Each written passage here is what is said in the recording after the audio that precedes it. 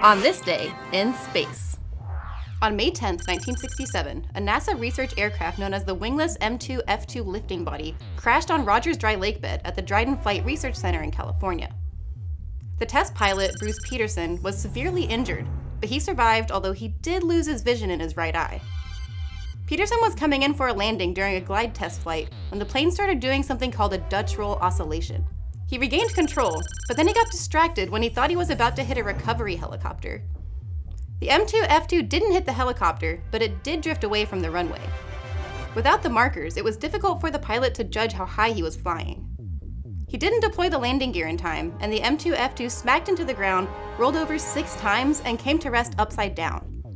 Footage from the crash later became famous when it was featured in the TV show The Six Million Dollar Man in the 1970s. And that's what happened on this day in space.